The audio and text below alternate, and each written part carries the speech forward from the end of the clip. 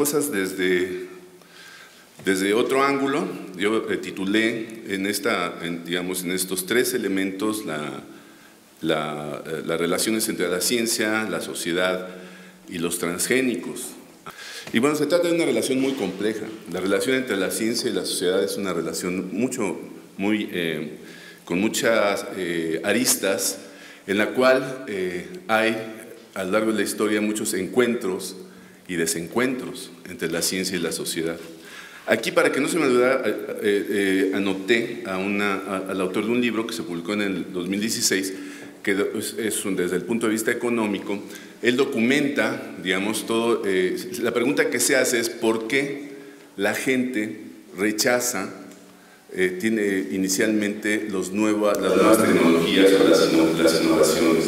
Entonces, em, este autor eh, lo que se hace un recorrido histórico, pues de 600 años de la, en, la, historia económica mundial, y entonces encuentra cómo cada nuevo descubrimiento, cada innovación se topa con el rechazo de las sociedades o de grupos importantes de la sociedad.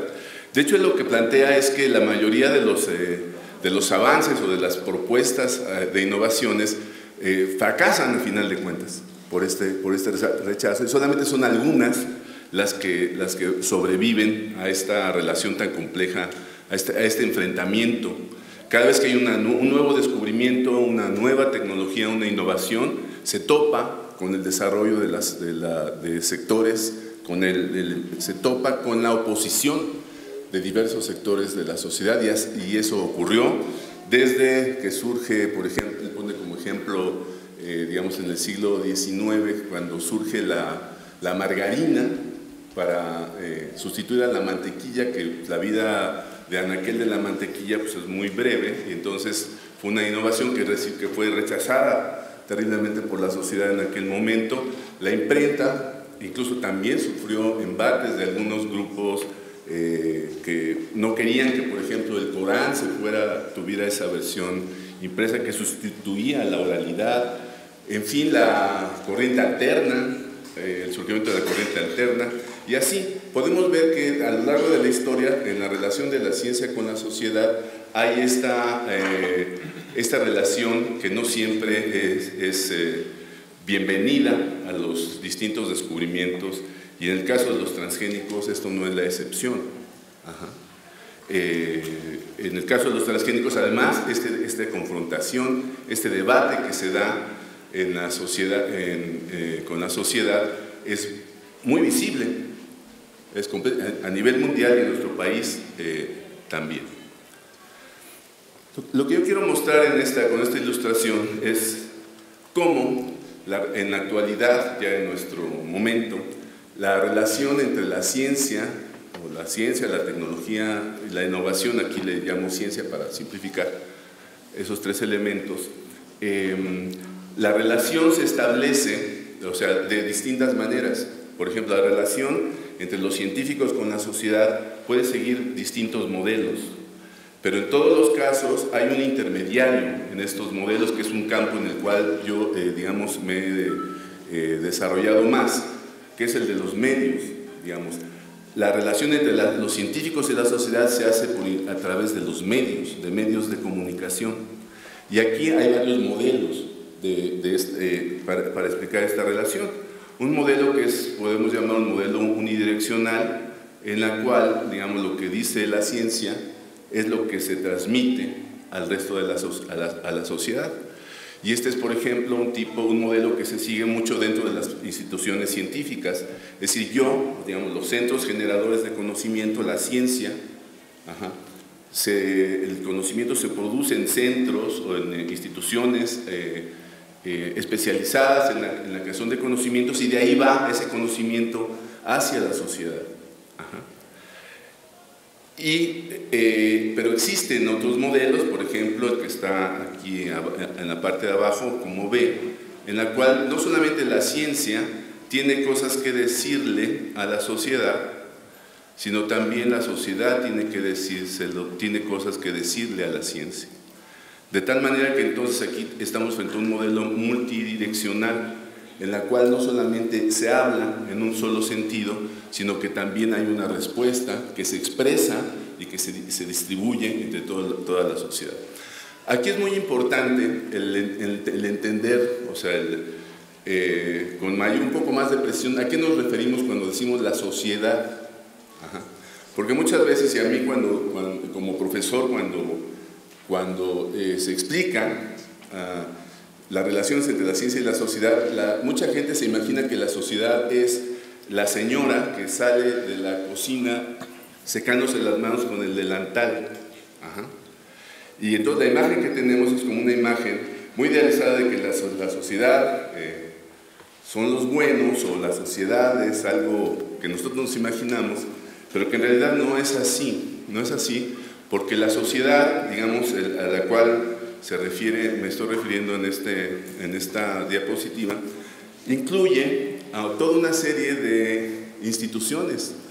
La sociedad está formada, de acuerdo con estudios como los que realizó, los que realizaron especialistas como Marcos Kaplan, la sociedad está integrada por eh, el ejército, por la iglesia, por el poder eh, económico, por el poder político.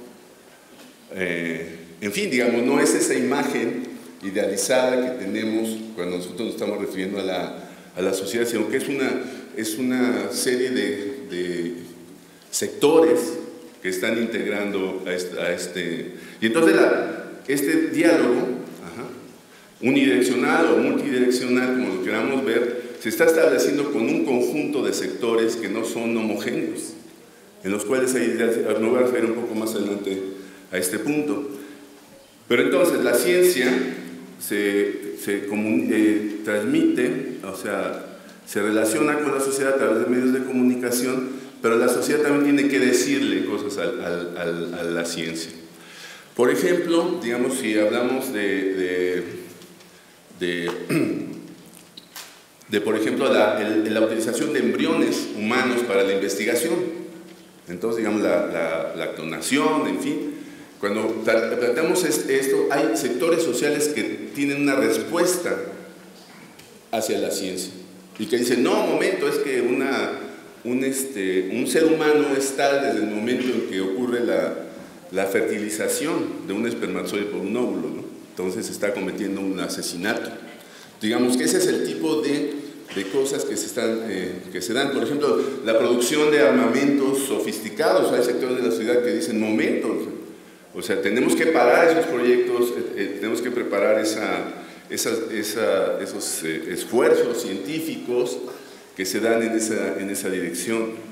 En el caso de los, organismos genéticamente modificados, que es el caso que estamos discutiendo, pues es más que evidente cómo hay sectores de la sociedad que dicen, bueno, muy bien, se están realizando estos programas de investigación, pero eso está dañando eh, de, ciertas maneras, ya se ha argumentado aquí, se va a seguir argumentando seguramente sobre el asunto, están dañando de, cierta manera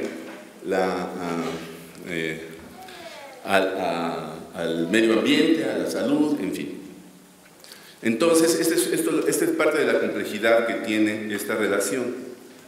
Y entonces, si nosotros lo, vemos de esta manera, digamos, podemos aquí, estoy, eh, tengo algunos de los elementos que, de los sectores que integran a la sociedad. Esto nos eh, lleva a, nos, nos, permite poder afirmar que existen en la sociedad multiplicidad de visiones respecto a, a distintos temas.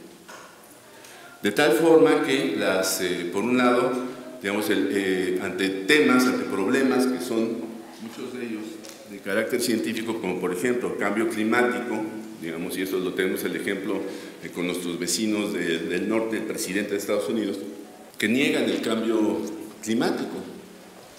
Entonces, las vacunas, hay quienes sostienen, el mismo caso del presidente Trump, que sostiene que las vacunas son inapropiadas porque producen eh, autismo, o bien, digamos, los embarazos en adolescentes como un problema de salud pública en las cuales hay, hay personas que, que, rechazan, los, ah, por ejemplo, los anticonceptivos de emergencia con el argumento de que producen, producen el aborto.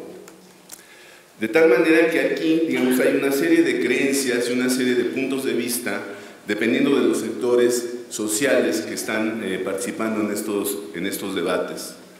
De tal manera que eh, se tiene que encontrar, la sociedad en su conjunto, tiene que encontrar un criterio para poder actuar como sociedad.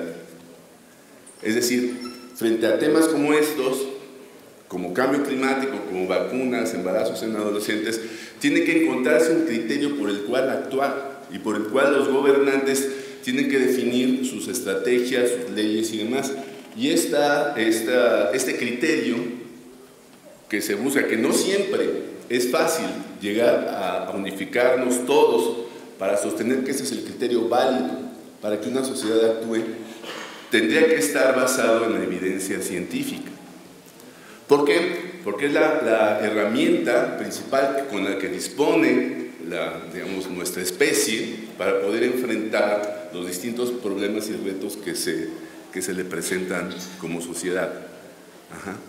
Muchos no estarán de acuerdo con que ese es el criterio que se debe de seguir, por ejemplo, quienes están en contra de la utilización de los anticonceptivos nunca estarán de acuerdo en que la evidencia científica sea el criterio para poder actuar frente a un problema de salud pública, por ejemplo.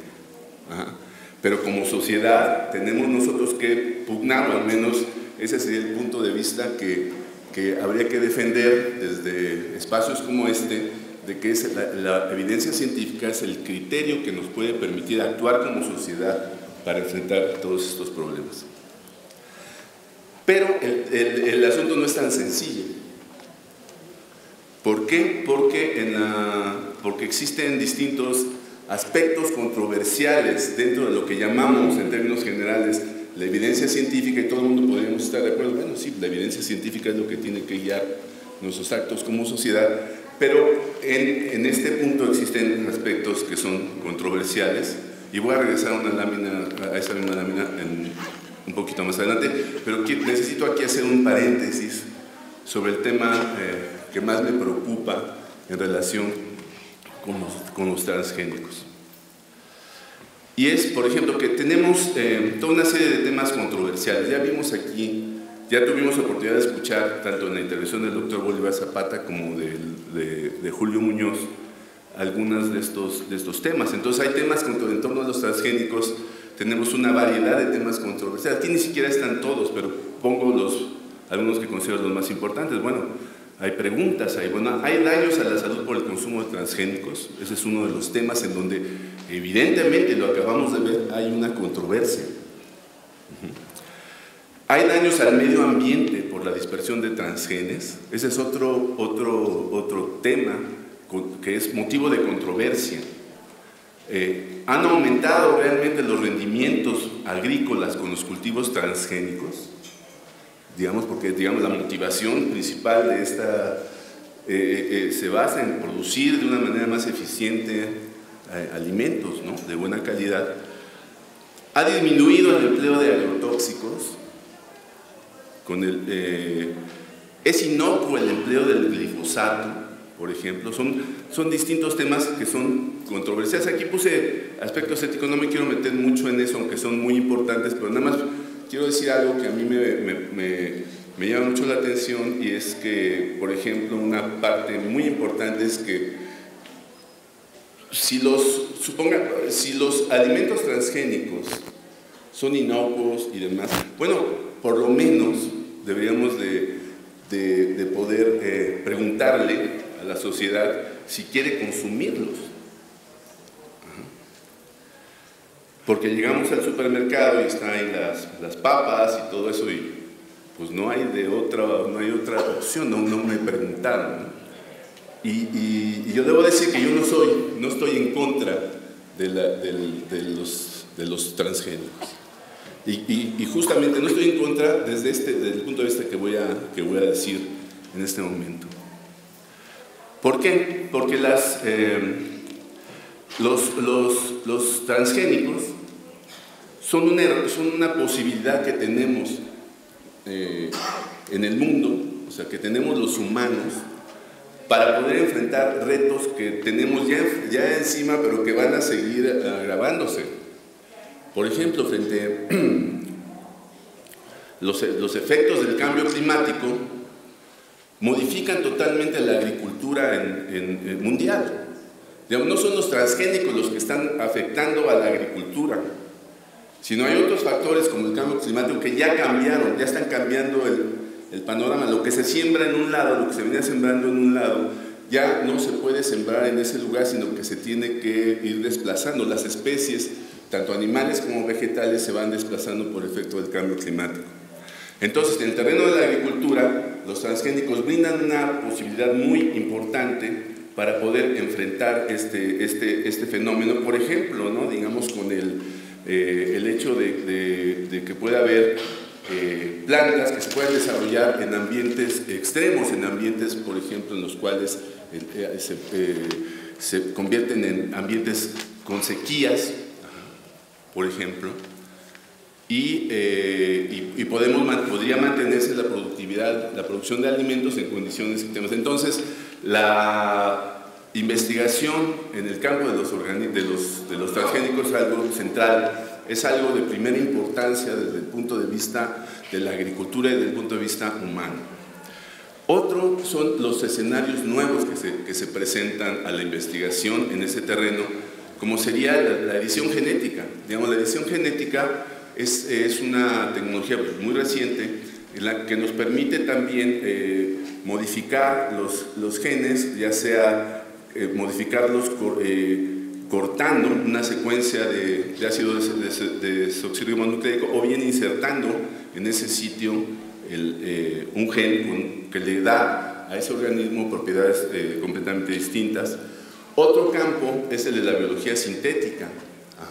Con el cual también es posible que a partir de los elementos básicos de la molécula de ADN se puedan construir eh, organismos que puedan ser de utilidad tanto desde el punto de vista médico como desde otros puntos de vista. Entonces, yo creo que aquí uno, el punto que yo quiero resaltar como el más importante de esta breve charla, porque yo no voy a ocupar seguramente todo mi tiempo, pero es este, digamos, es resaltar la importancia de la investigación en el tema de los transgénicos.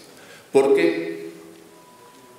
Porque en este debate se han, han aparecido posturas completamente anticientíficas.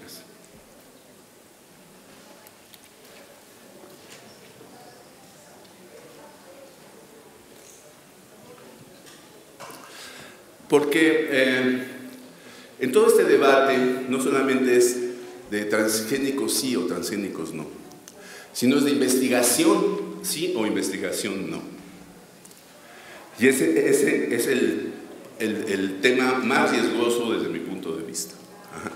Y hay sectores, que, digamos, que aprovechan y construyen discursos a partir de este sentimiento que se da entre distintos sectores contrarios a la siembra, a los cultivos a los cultivos transgénicos y demás. Entonces mezclan toda una serie de argumentos en los cuales le ponen el ingredientes como, ah, las transnacionales están detrás de, todo esto. Y todos los que están a favor de algún mínimo asumo de que se debe de hacer, trabajar con los transgénicos, son agentes de las transnacionales. Entonces ustedes dicen, en un auditorio con un eh, nivel, eh, digamos, eh, con un bajo nivel, si ustedes dicen, ah, no, transgénicos, transnacionales, pueblos originarios y demás, bueno, pues ya prácticamente hay que linchar a todos los que están fuera de eso. Pero en ese discurso que combina todos esos elementos, está, hay una agenda muy clara que lo que busca es detener la investigación científica. Y ese es el riesgo más importante que yo quiero advertir. Ahora, de tal manera que aquí, digamos, adelanto la conclusión, una conclusión, que eh, en, el, en, ese debate dice algo, digamos, pareciera que hay cosas en las que no nos vamos a poner de acuerdo, que no estamos de acuerdo. Ya vimos, digamos, con las dos primeras intervenciones, ya vimos que está complicado, ¿no? el, asunto, pero lo que sí podemos es, eh, es estar de acuerdo en que es indispensable impulsar la investigación científica y tecnológica sobre los organismos genéticamente modificados. ¿Por qué? Porque para resolver todas las, para resolver, digamos, todas las, eh, todos los controversiales, lo que se necesita es cómo vamos a resolver de una forma clara y definitiva si los alimentos transgénicos producen o no producen daños, pues haciendo investigación científica. Replicando los experimentos, es lo que, lo que falta, eh, replicando los experimentos como los de Seral, digamos, ¿cómo vamos, a, ¿cómo vamos a saber si, si, si el glifosato realmente es dañino o no lo es? Digo, por aquí, y lo vamos a seguir escuchando, digamos, eh, ¿cómo, ¿cómo vamos a discernir sobre eso si no es mediante la investigación científica y tecnológica? Entonces, este es el punto de acuerdo en el cual sí nos podemos aproximar. Porque además hay otros en los cuales en este, en este, en este transcurso de los años se ha, visto que a pesar de que son posiciones tan extremas, aparentemente tan extremas, hay puntos en los cuales se ha logrado eh, eh, una aproximación interesante. Por ejemplo, en el caso cuando se, cuando se afirma que la que los hubo una época en que se, que se negaba que los transgenes, los genes introducidos en, las, en, estas plantas, eh, pudieran contaminar otros cultivares, particularmente en el caso de, maíz. Pues, todos recordamos el, trabajo de, Gustavo Chapela en el cual se le fueron encima cuando él planteó esta, esta posibilidad. Ahora ya es, una, ya es un hecho aceptado por todos los, eh, por todos los, eh, los sectores científicos que seriamente están trabajando en esto, que esa, que esa, eh, que esa contaminación existe. Lo, ahora, lo que pasa argumenta que pues, no, no, le hace nada a la biodiversidad y otros dicen que sí le hace, ¿no? Pero de todas maneras hay, hay, puntos en los cuales se ha ido avanzando y esa es gracias a los resultados de la investigación científica. Ajá.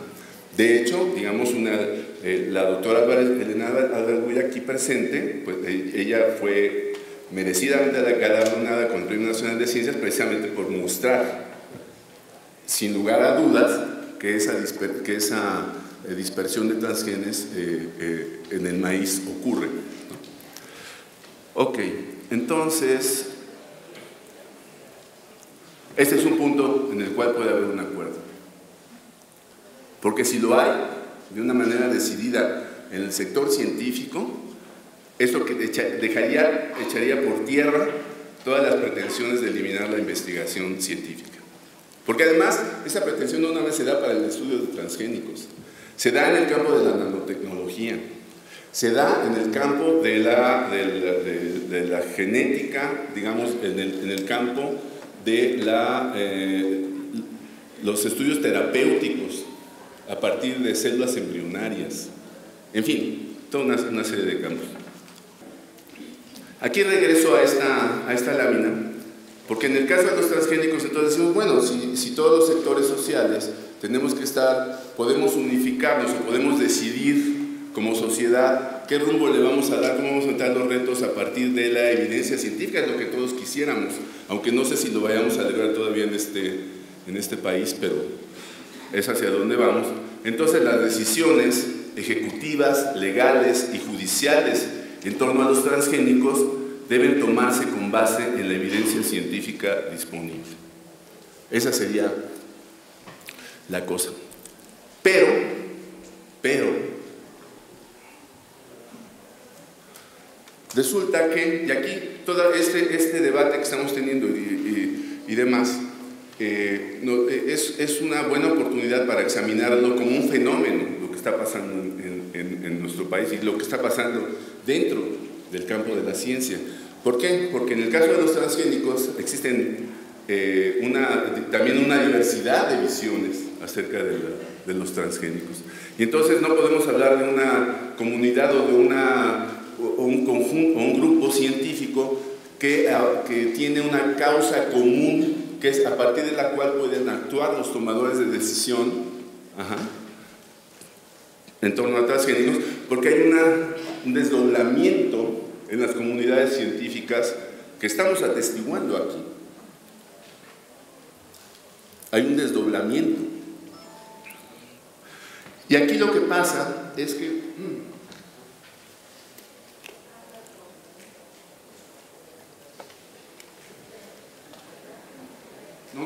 no, lo que pasa, sino lo que se puede observar en esto, es que en estos dos, que podemos agrupar en dos, digamos, puede ser que haya más, pero eh, vemos, por ejemplo, una cosa bien interesante, porque estamos hablando de científicos o de un debate científico del más alto nivel realmente. Donde participan, para mí sí es importante, digamos, no, no que la autoridad sea la que diga y eso lo convierte en cierto, pero sí me parece relevante que sean los grupos científicos de mayor experiencia y de más alto nivel quienes participan en este, en este debate en el mundo y en México. Eh, ¿Y qué es lo que, se observa aquí? Que, los resultados o métodos empleados en la investigación no resultan satisfactorios para, el otro grupo, para, un grupo científico. No resultan satisfactorios, como es el caso de lo de Seralini, ¿no? Digamos, eh, eh, parte de los argumentos con los que se retractó ese artículo fueron precisamente que la, metodología y demás, la especie, las ratas, Winstar, en fin, Winstar. Em, o también que existen interpretaciones distintas ante un mismo resultado. hay un trabajo y entonces se ve desde distintos lugares, se ve, se ve, eh, se derivan cosas diferentes a partir de un mismo resultado. Eso, eso, me parece sorprendente y sumamente interesante desde el punto de la ciencia. ¿Y qué quiere decir esto? Esto, esto ya nos, nos lleva a entrar a un punto y, que es que la ciencia no necesariamente es algo que se rige por reglas eh, rígidas que son eh, pues la objetividad, la imparcialidad y demás, sino que en la investigación también se observan sesgos de distintos tipos. Hay muchos ejemplos, por ejemplo, en un campo que yo, en el que yo he trabajado durante varios años, que es el, eh, el de la diferenciación sexual, digamos, en donde la, investigación que se, realizó durante muchos años estaba siendo, digamos, eh, tenía una, influencia, un sesgo dado por una visión de, de, explicar un fenómeno como es la diferenciación sexual a partir de solamente los datos obtenidos de la investigación en hombres, en el desarrollo sexual masculino. entonces eso nos daba como que la idea de que todo era así, cuando en realidad ahora estamos viendo que no es así, sino que hay elementos desde otras desde otro lado que implican que también hay un desarrollo, en fin, pero no me voy a meter en ese, en ese tema porque no es el tema de este, de este debate, pero sí quiero mostrar que hay ejemplos en los cuales se, se, aprecian estos, Y eso quiere decir que entonces una, una posible explicación de por qué grupos de muy alto nivel pueden tener estas visiones diferentes respecto de un mismo, de un mismo tema, tendría que tener una explicación epistemológica que, que podría quedar encuadrada en lo que se, en lo que se ha denominado recientemente como el em, conocimiento situado, es decir, que dependiendo del contexto en el cual se desarrolla una investigación y demás, se llega a tales o cuales, eh, eh, tales o cuales conclusiones. De tal manera que hay, que hay un tema aquí de debate, más allá de los transgénicos, que nos lleva a preguntarnos por qué ocurren estas diferencias, y no es un tema trivial para nada. ¿Y cuál es el riesgo que tenemos aquí? El riesgo que tenemos es que, es que la ciencia pierde el control de las decisiones sobre los transgénicos. ¿Por qué? Porque si yo fuera un funcionario, bueno, mejor no, porque no, me gustaría ese, eso, si, fuera, si fuéramos extraterrestres, si fuéramos extraterrestres y viéramos esto, tomáramos una fotografía, o viéramos la fotografía de lo que está pasando aquí, eh, y nos preguntaríamos, bueno, las decisiones ejecutivas, legales y judiciales en torno a los transgénicos deben tomarse con base en evidencia científica. Y entonces observamos esto. En la comunidad científica de México aún se están debatiendo aspectos centrales en torno a los transgénicos que dificultan la toma de decisiones. Y entonces, ¿a partir de qué elementos se toman esas decisiones? Actualmente en México. Si, no es, si vemos que hay una imposibilidad objetiva de tomarlo con base en la evidencia científica solamente, y entonces aquí es donde predominan y donde entran, y no, no es porque yo quiera descalificar, sino que entran aquí, digamos, eh, pues todos los grupos de presión política, que son, que, pueden, eh, que son todos los sectores de la sociedad que sin estar guiados por las evidencias científicas, están guiados por sus propios derechos o intereses para poder para plantear las cosas y eso lleva a la prohibición de, los, de, cultivos transgénicos, eso lleva a, en algunos países a que se aprueben sin, sin tener mayores mayores datos, en fin, entonces queda esto al garete, y, ahí es donde estamos, todos. Ahí es donde estamos y va a ser, nos vamos a llevar un, poco de tiempo en llegar a una posición más o menos unificada, pero que solamente puede estar basada en, esto, y con esta es la última eh, diapositiva que ya, la, ya de hecho ya la vimos, pero donde quiero yo enfatizar precisamente el papel de la investigación científica que debe ser en México, eso sí lo podemos hacer ya, acrecentar. Además, porque ya hay ejemplos en México de que a partir de todas estas presiones políticas se han eh, reducido o se han cancelado proyectos de investigación sobre transgénicos. Precisamente a partir de todas estas, estas presiones, yo creo que este es el punto más importante, por lo menos desde mi perspectiva, a tratar el día de hoy. Muchísimas gracias.